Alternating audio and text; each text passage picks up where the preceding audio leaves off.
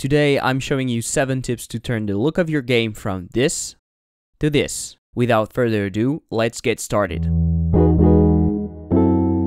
Okay, the first one is a simple one, and mostly aimed at prototypes and game jams. Don't use the Godot icon. I see it way too often, especially on prototypes or tutorials. I get it, the icon is there and you can simply drag and drop it into your project. But it has been done way too much and I think it's pretty ugly. What I'd like to see is more love towards the Polygon 2D node. It's a very simple node to use with which you can create all sorts of shapes and easily add colors, gradients or textures and even invert the shape to create borders for example. The Polygon 2D node is super versatile and you can easily set up collision at runtime by setting the polygon data to the collision polygon data. You can also stack polygons to create more interesting design by adding details. I don't know what more to say to convince you that the Polygon 2D node is superior, but I hope you get the idea. You might think that it doesn't matter, but imagine seeing a new platformer project. What would look better? A Godot icon moving around or a nice little Polygon 2D that already resembles some things of a character? I made a simple top-down shooter example for you to see, and look how it's already 10 times better, just by using Polygon 2D for everything. The second advice is easier than you expect. Use a color palette. I could tell you to worry about the colors and make a coherent choice to really set the mood for your game, but working with colors is usually harder than we think, so to simplify the process, just go to lospec.com or any other color palette site and choose a color palette that you like. You can select how many colors you want and usually you even see it in use. If we apply that to our example, I think it already looks better. This is especially useful when making a simple prototype or a demo. If you like time, this is the most important things to take care of. It will bring your game from looking like a kid's drawing to a professional and coherent look. Really, it's easy. Just try it out. The third one I want to talk about is the world environment. It's a very common one, but the base of a good looking game. So when you add a world env node, you create a new world environment and you select canvas mode for 2D, otherwise it won't work. These are the two things that you want to play with here. The first one is the tone map. This is used to convert your linear colors into standard ones. You have the choice between linear, Reinhard, filmic, and ACES. This is important to use to avoid your game looking very dull and flat.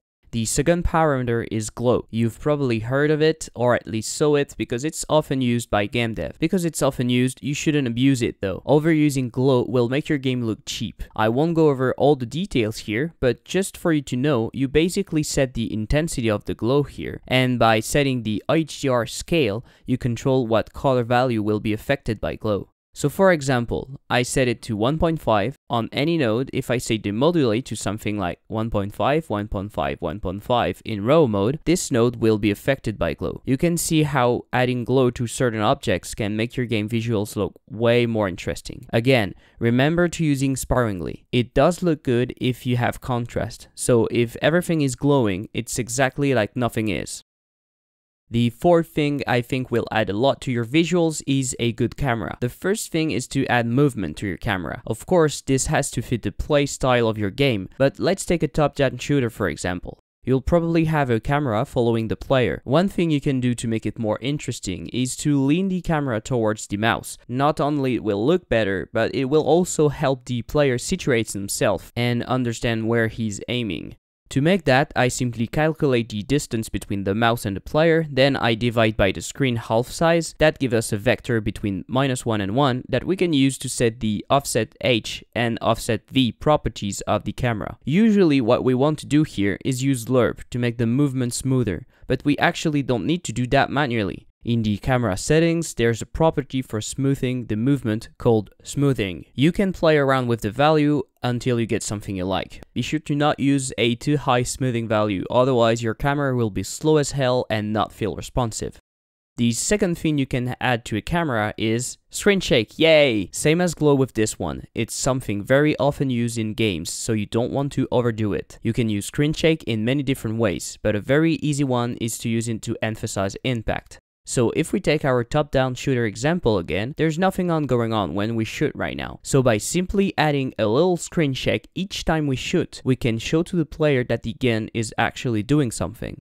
Giving player visual feedback is very important. You can also change the screen shake duration and intensity depending on the weapon. Be careful when using screen shake as it can be a bit disorienting. The more often an action has to be performed, the less screen shake it should have. For example, in our top-down shooter, we'll walk nearly all the time will shoot often and will die way less often. So walking should have no screen shake or very very subtle. Shooting can have a bigger screen shake but not so much that you can't shoot straight and dying can have a big screen shake especially since the player is not in control when the death animation plays out. The fifth advice is to make use of lights. It's actually easier to set up than you think. Simply add a light 2D node to your scene, add a texture for your light, it will define the light shape. This can be anything. In my case, it's a circle with a radial gradient. But for example, you could make a cone one to mimic a torch lamp, especially useful for those dark top-down shooters. Make sure to check shadows enabled to make it even better. For the shadows to appear, simply add an occlusion polygon node to your nodes you want to cast shadows. In my case, I put one on the player, the enemies, and the pillars. And with this simple trick, your scene already looks so much better. You can play around with the light intensity and color, the shadows intensity, etc. You get creative with it. Lights and shadows will make your world much more immersive, and you can put a lot of them in 2D because it's not that expensive. Make sure to not abuse them though, because having a lot of shadows can make the scene feel busy and hard to read. This may be obvious for some, but particles are absolutely awesome. What makes them even better is the fact they're GPU accelerated, so you can instantiate a buttloads of them without having to fear performance issues. Unlike the others, I think you can abuse particles. I would even say you should abuse their use. Put particles everywhere, they're so versatile. You can even put them in your UI. To show you how effective they are, I want to show you footage from Franz Fury. It's a game made in Godot by Raphael Pica. It's currently in development and it's really good. There's a demo on Steam right now, so go check it out if you're interested. I think Raphael really did an amazing job with the visuals and especially the UI. If I'm not mistaken, he's probably using some particles when the buttons are selected and it looks wonderful. You can use them to simulate projectiles, impact, bloodshots, ambient fog, fire, etc. Pretty much everything. So really, just add some particles, even if you don't use a texture and keep the default square, it will look better than nothing. My final advice is pretty simple. Animate everything. What I mean by that is when something is moving or changing color or value, whatever, it should be animated. Of course, this can be really slow to implement if you have a lot going on, but you should animate at least the essential things. Your product will feel much more finished. We had an example of that earlier when moving the camera, and you saw how better it was with the smoothing. You can apply this principle to everything.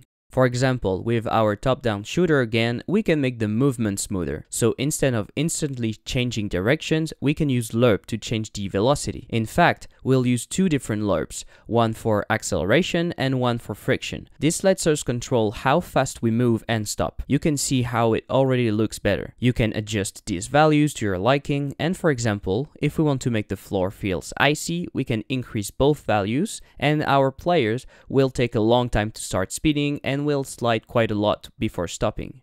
Using lerp is cool, but will only make linear interpolation. So if you want something more interesting like a bounce effect or just something not linear, you can use a tween. I often use tweens a lot when making UI. It goes a long way making the UI more interesting. One simple example is to tween the rect scale of a button when it's hovered. You can make the button be bigger and hover and come back to normal when not. If you don't know what transition type to use, you can use the tween cheat sheets that will show you every type of transitions and also what is the effect of in or out.